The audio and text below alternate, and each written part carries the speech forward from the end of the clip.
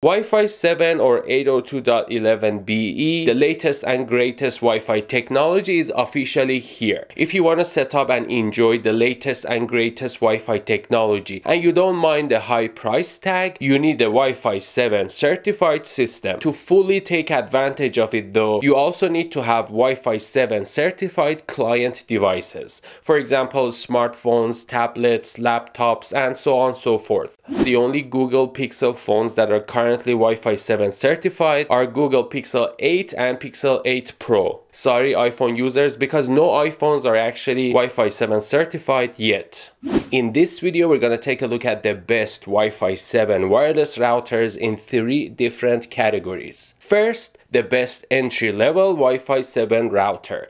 This is probably for someone who wants to have Wi-Fi 7 but without too many bells and whistles and doesn't want to spend too much money either. Category second, the best Wi-Fi 7 router for everyday use. Something reliable in terms of range, speed and security that can get the job done for an average household doing a little bit of everything. Streaming, browsing, using social media and even maybe gaming a little bit.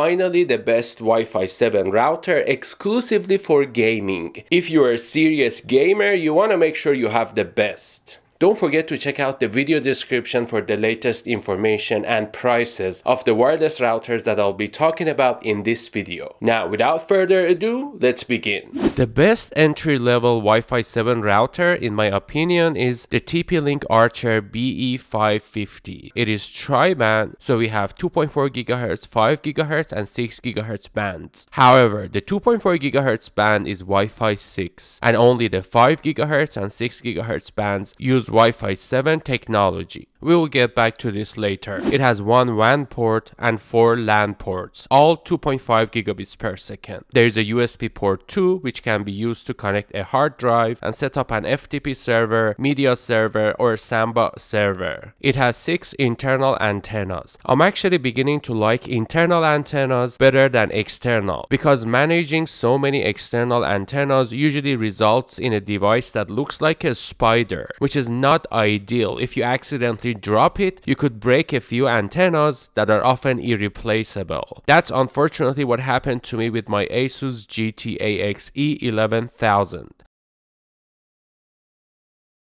This router can be used as a wireless router, access point, and can also participate as an EasyMesh node. It looks like it doesn't support OneMesh, only EasyMesh, which is an industry standard compared to OneMesh, which was only for certain TP-Link routers and range extenders. TP-Link wireless routers in general have great features, usually more than what an average household needs. This one can be 3 VPN clients and 3 VPN servers. It also comes with HomeShield Advanced Security Kit, which is great. Now this TP-Link Archer BE550 is around $250, which as you will see later in this video is by far the least expensive one. Now regarding the wireless band where the 2.4 GHz is not Wi-Fi 7, one way to handle this situation is by designing the network to accommodate it. For example, I could create separate Wi-Fi names and passwords for each frequency band, using the 2.4 GHz band for older devices that don't require fast connections, but can benefit from the longer range it provides, such as Wi-Fi printers and smart home devices. The 5 GHz and 6 GHz bands which support Wi-Fi 7 can be used for more modern and network sensitive devices. Overall, it is a capable Wi-Fi 7 router. Yes, the 2.4 GHz band is only Wi-Fi 6, but I can design my network to work around this. On the plus side, it is not very expensive compared to the other Wi-Fi 7 routers. In fact, it is even cheaper than many Wi-Fi 6 and Wi-Fi 6E routers.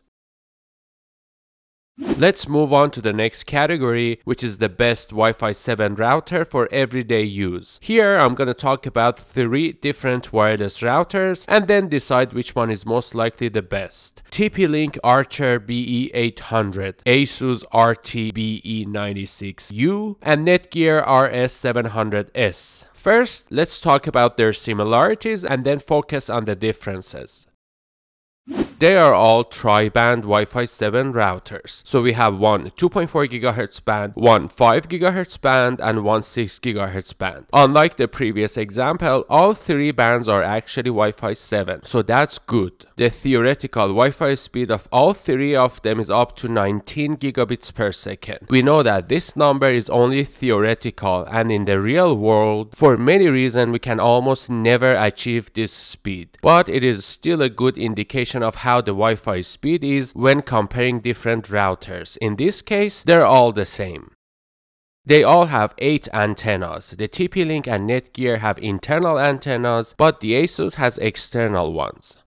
Now let's talk about their differences. First, their features. If you follow this series on the best wireless routers in 2024, or if you follow my videos, you probably remember me saying in different videos that ASUS routers have amazing features. I have many videos talking about them in more detail. Features such as using the router as different VPN servers or clients, using its advanced quality of service, changing the operation modes of the router to many different modes that could come in really handy. I have many videos on those topics and I'll link them in the video description in case you want to know more details. So I guess what I'm trying to say here is that I believe ASUS has the best features with no question. However, I am very pleased with how TP-Link is actually closing the gap. Every year that goes by, I see TP-Link adding something which is really good. So I think they're working on making their routers better and better and I like it. Netgear on the other hand, I think has the least features here. There are still great devices for people who don't necessarily need advanced features, but when it comes to comparing their features, these two, especially ASUS, are more superior.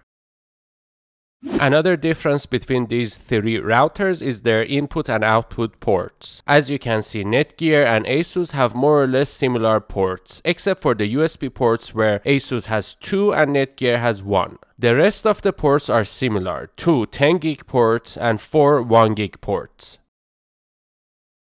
However, the TP-Link has two 10 gig ports and four 2.5 gig ports. I'm quite surprised that the other two still have 1 gigabits per second ports and no 2.5 gigabits per second ports. When you buy a Wi-Fi 7 router, you're probably planning to keep it for quite some time because it is new technology. While 1 gigabits per second ports might be sufficient today, in the near future, especially if your internet speed exceeds 1 gigabits per second, second, those 2.5 gigabits per second ports can be very useful. Therefore, in terms of ports, the TP-Link is the best option here. Now let's talk about their prices. Just keep in mind that these prices are as of the time of the video. So by the time you're watching this, they may have changed. You can check out the video description for the latest prices. Okay, let's start with the most expensive one. And no, it is not the Asus. Surprisingly, it is the Netgear, which is currently around $700. I honestly don't know why this is the most expensive one, but that's how they price their products. The next one is Asus, which is currently around $677. And finally, the TP-Link is around $600. Alright, to sum up, I'll tell you how I personally would decide between these three. If I already have an ASUS router and want to upgrade to a Wi-Fi 7 router, of course in this category, I'll most likely lean towards the ASUS. This way I can still use my older router, set up a mesh network and enjoy the ASUS features. However, if the TP-Link ports are very useful for my network setup and design, and I'm completely happy with the TP-Link features, I might decide to go with the TP-Link, especially since it is the least expensive. I know there are people who absolutely love Netgear home wireless routers, and some of the ones I have tested are great, don't get me wrong. But considering the price and everything, this particular one doesn't seem to be the best bang for the buck, at least not in my opinion. For that reason, I personally would not consider it, at least not at this price. The final category is the best Wi-Fi 7 router for gaming. Here I'm going to talk about two Wi-Fi 7 routers. Asus ROG Rapture GT-BE98 Pro and TP-Link Archer BE900. They're similar in that they're both quad band, which is great. And they have almost the same ports, two 10 gig ports, four 2.5 gig ports, one 1 gig port, and two USB ports, which is interesting. However, when it comes to the maximum Wi-Fi speed, the numbers are different. The TP-Link supports speeds up to 24.4 gigabits per second, while the Asus supports speeds up to 30 gigabits per second. This difference is because even though they're both quad band, the bands are not exactly the same. The TP-Link has one 2.4 GHz, two 5 GHz, and one 6 GHz bands, whereas the Asus has one 2.4 GHz, one 5 GHz, and two 6 GHz bands. We will get back to this later. The Asus has 8 external antennas, while the TP-Link has 12 internal antennas. Feature-wise, we discussed the TP-Link and Asus features before, so I'm trying not to repeat myself. In my opinion, the Asus has better overall features, but the TP-Link is also quite capable. As I mentioned earlier, they keep adding features every year. For example, this one now supports WireGuard VPN, which is great. So personally, if I had to choose between these two, it would come down to whether having dual 6 GHz bands or dual 5 GHz bands is more beneficial for me. Additionally, I would consider whether I need the AsusWRT features such as the AiMesh system and other advanced functionalities, or if what TP-Link offers is already more than enough. The TP-Link is also less expensive. It is currently on sale for around $630, whereas the Asus is almost $800. Nonetheless, they're both great, and if I want the absolute best Wi-Fi 7 router, currently these are in my opinion the best options.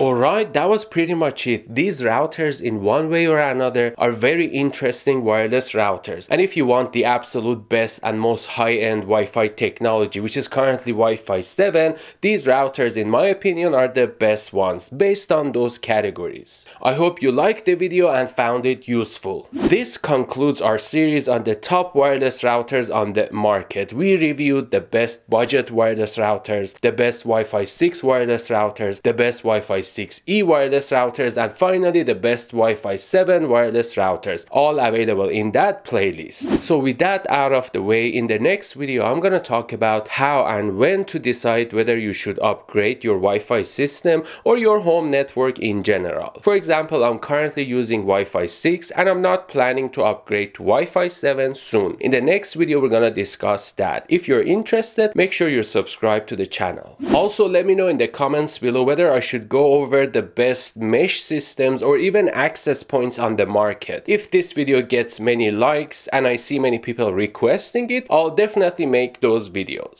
Thank you very much for watching this video. Hit that like button if you liked it and subscribe for the upcoming videos. A special thanks to my followers on Patreon for supporting the channel. If you also want to support the channel, which I would really appreciate it, you can check out my Patreon, which is gonna appear here soon. Thank you again and I will see you next time.